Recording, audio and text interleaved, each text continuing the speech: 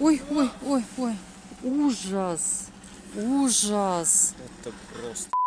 Он вообще, он все разломал.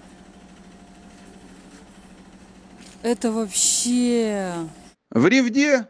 Хм, Вы, оторвавшись от вечерних пельмешков и удивленно вскинув брови, спросите, где-где?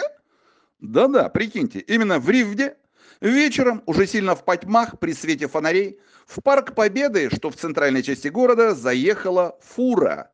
Вы когда-нибудь что-нибудь подобное видели или слышали? Ну, вы, конечно, скажете, что да, и приведете пример «Слон в посудной лавке». Это, кстати, сильно напомнило фильм «Красотка», где две продажные девки спорили об удаче. Ну вот скажи, у кого это получилось? Ну у кого так вышло? Ха, назвать тебе имя? Ну, как бишь ее там? Чертова Золушка! Ну, согласен. Слон в посудной лавке – это, пожалуй, в истории цивилизации, или, как сейчас принято многополярно говорить, в истории цивилизации и, единственный пример, описывающий неожиданное забуривание в Парк Победы огромной длинномерной фуры с зеленым сидельным тягачом породы КАМАЗ со 152-ми нижегородскими номерами и здоровенным фургоном на загривке, судя по набортной живописи, приписанном к транспортной корпорации ИТЭКО, обслуживающей значительную часть регионов России. Вы спросите, да как фура могла заехать в парк в центре города? Да как она вообще могла попасть в центральную часть города, где движение тяжелых, здоровенных транспортных фур вообще запрещено? Ну как, как? Колесами? Судя по всему, фура заехала в Ревду с запада, с Московского тракта, а потом попыталась объехать центр города, покатилась на юг и приехала в Парк Победы. А виноват, ну, конечно же, навигатор.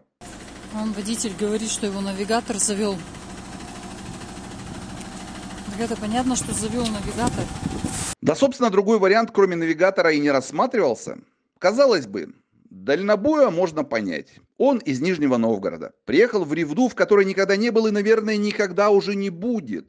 Единственный способ ориентироваться в чужом, незнакомом городе – это ехать по навигатору. Но, естественно, этот камазист в соцсетке понахватал от ревдинских аборигенов. И совершенно по делу.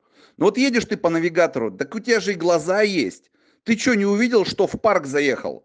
Многочисленные видеооператоры-любители заставили фуру ведь не на въезде в парк, а в его центре. То есть фуровод такой ехал по уютным аллейкам парка несколько минут и думал, что это тупо односторонка, затерявшаяся в лесочке. В общем, косанул камазист знатно. Вовремя не остановился, и для Ревдинского парка Победы наступил посудный день. Это в парке Победы. Фура проехала. И вы посмотрите, что случилось. Он фонарь просто с мясом снес вообще, камеру, все. Это только что было. Он сначала свернул там что-то. Он вот сюда вот заехал. Он сейчас вот опять пятится назад. Это вообще что-то. Скамейки вон отодвигают.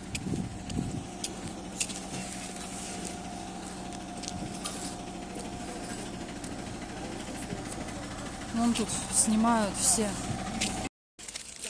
Вот скамейка. Пытались сейчас мужчины ее погнуть обратно. И она никак не, пог- ну, не загнуть ее.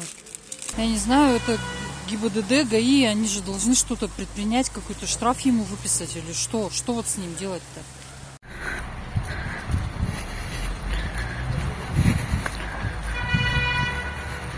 Чем завершилось это терминаторское путешествие камазовского слона по посудной парково-победной лавке, недавно, кстати, пережившей капитальный ремонт, не сообщается.